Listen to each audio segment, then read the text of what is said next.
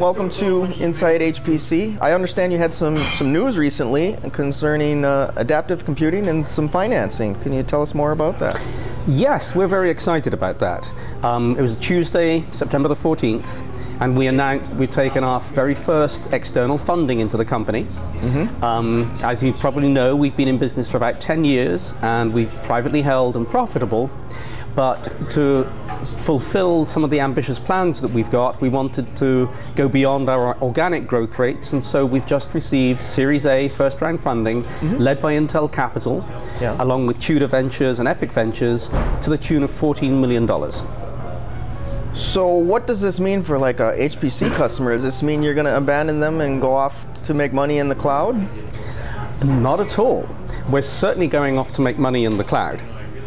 But the, the challenge that we have as a company, today we're at about 70 people worldwide, and we've got a very strong pipeline, both in HPC pro projects and also increasingly in cloud projects, some mm -hmm. for HPC and some for commercial enterprise. Yeah. And the challenge we have today is we just don't have enough people to fulfill that business.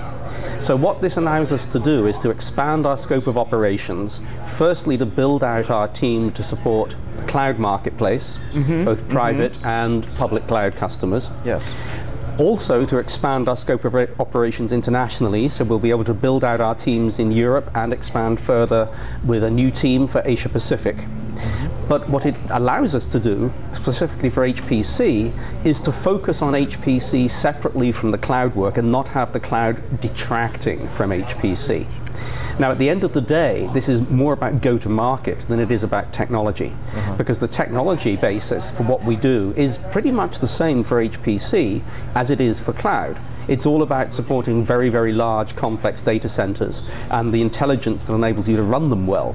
And that's pretty much common. The workloads differ a little bit between the two markets, but most of the difference in approach is actually how we take that product, that technology to market, different types of customers, different types of businesses, and they need different approaches and different specialist skills. Sure. So why is this news good news for HPC? It's good news because it makes us stronger as a company. It allows us to expand our resources and we can really focus where it counts.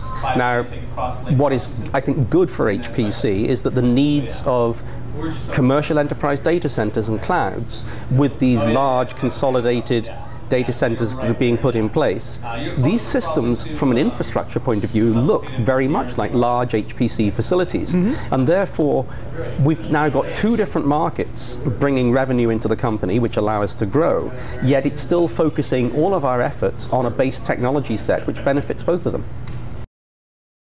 I think we're going to have a very exciting period going forwards.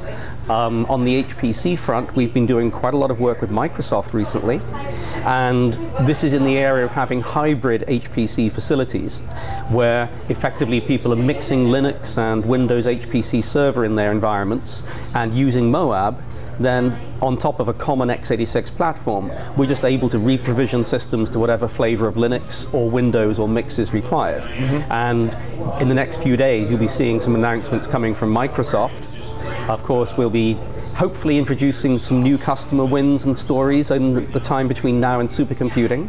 And so I think keep in touch, keep watching us, and please come and visit us at Supercomputing 010 in New Orleans.